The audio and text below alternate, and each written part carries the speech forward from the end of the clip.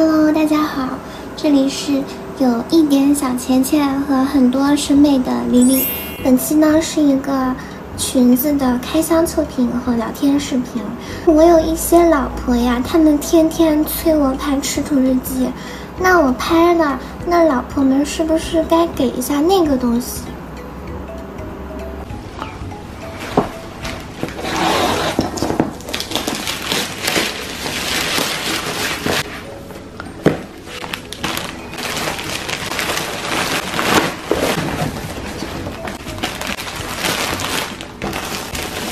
没错，这次开箱的呢是花语珍珠侠的裙子。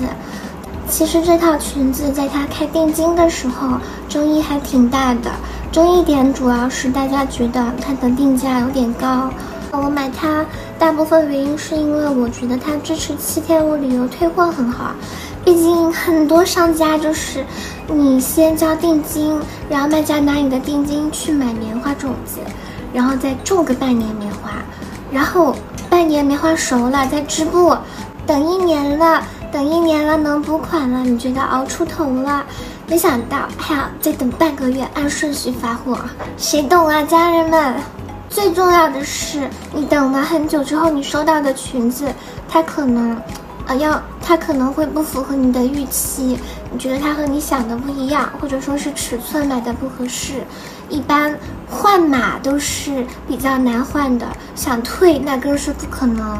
一般只能挂在闲鱼上，卖不卖得出去，听天由命吧。可能上来还会遇到学生党倒贴我二百。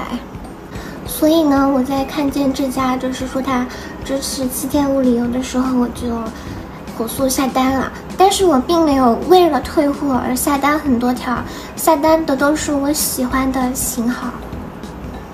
像是像是它的那个没有腰的 OP，我就觉得肯定是不适合我的，我就没有拍。我买的呢是两个 JSK，我身上的这个粉的，还有一条蓝色的和一套蓝色的短裙套装，它们的价格分别是，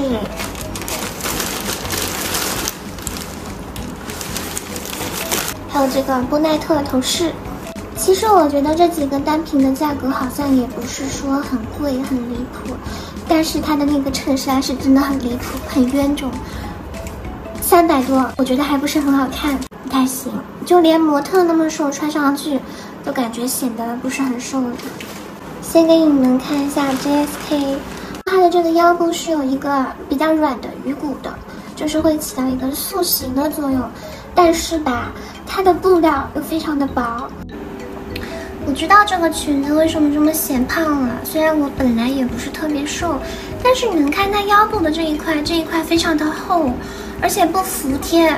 说我记得好像当时卖家宣传，他们成本贵的点之一就是面料都是纯棉的。我拿到手，我摸着觉得它确实是纯棉的，但是这也是很不妙的一个点，就是它这个布料的棉给我一种。嗯，很容易旧和很容易皱的感觉，就是那种洗一次，你下次要穿的时候，你要熨烫个半个小时，而且怎么烫都还是会有点皱的那种感觉。还有一点就是我当时买的时候没有注意到，但是现在觉得很突兀的一个地方，就是像我身上这个粉色渐变。还行，你们看哦，因为蓝色它本来是一个冷色调的颜色，对不对？但是它上面渐变的这个是个米黄色，这个米黄色和蓝色就感觉好像有一点突兀，不是很自然。看你们介不介意吧。然后这个腰部的部分它是可以收起来，然后做成一个花瓣摆的。不喜欢花瓣摆的也可以就这样放着。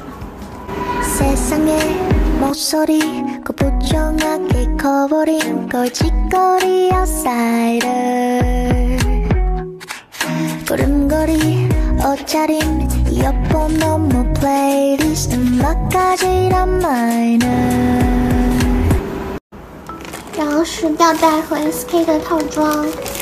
其实吧，我不是说我要当消费者型，但我觉得这个吊带两百出头，好像确实不算贵。但很多地球人的衣服，这种类似款式的吊带没有这么多细节的，也是要卖个一百多。比较黑心的店要卖两百。那我有一条和这个很像的短裙，就是形状很像，我拿过来对比一下。其实布料还挺像的，都是这种提花棉。也可以看到奥斯汀这条的设计和用的花边确实会多一点。对，奥斯汀这条的蓝色，它其实有点像紫色。还是挺好看的，但我私心还是觉得，如果上面是本白色就好了，因为我自己我比较喜欢本白色。就是你们看我穿本白色的衣服，会显得人白一点，但是如果全是黄色，就感觉人也黄了，是不是？蓝色 JSK 我就不试了，因为我准备把它退掉。很多店它好像不做那个七天物流，就是担心别人会拿了裙子拍完照就退掉。但是，但是我觉得，首先你不能因为就是一部分不良买家的行为，你就把所有买家的合法权益全部砍掉。第二就是，本来开店做生意承担一点风险，不是也很正常吗？不能什么风险都是买家承担吧？等了很久，然后还要承担像开盲盒一样买到不喜欢的东西的风险。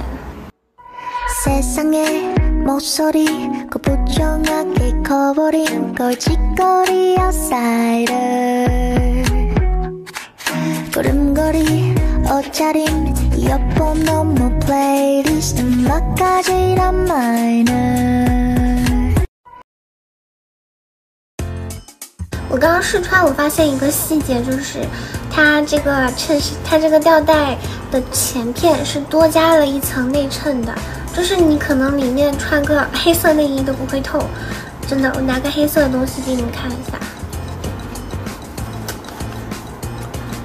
但是代价可能是它比较厚，会比较热。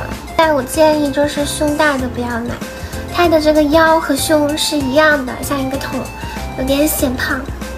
像官配小物一套搭着可能会比较好看，然后是小物，这个小物波奈特我真的是要吐槽一下，就你们看这么大的一个波奈特，它固定的竟然是这么小的夹子，这么小，只比我美甲长一点，朋友们，夹在头上有一点夹不稳也就算了。这个小发夹的质量还不是很好，因为我自己平时也会做一些手工的蝴蝶结什么的，像这个就是我自己做的蝴蝶结，所以我能够摸出来这是比较便宜的材料。好了，那本期视频就到这里结束了。如果你觉得本期视频好看，或者是对你有帮助的话，那就点个赞或者投投币吧，或者多多留言发弹幕也可以哟。